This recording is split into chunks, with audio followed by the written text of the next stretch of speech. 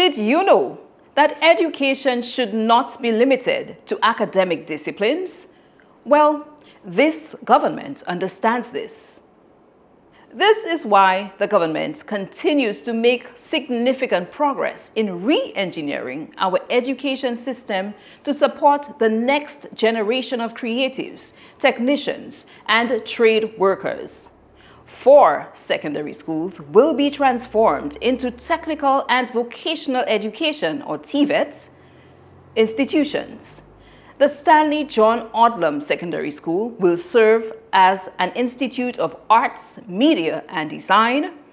The Grand Riviere Secondary School will be converted into an Institute for Sustainable Agriculture, Culinary Arts and Entrepreneurial Services. The Anse Ger Secondary School will be the Institute for Engineering and Technology, and the Piaye Secondary School will serve as the Institute of Construction and Heritage.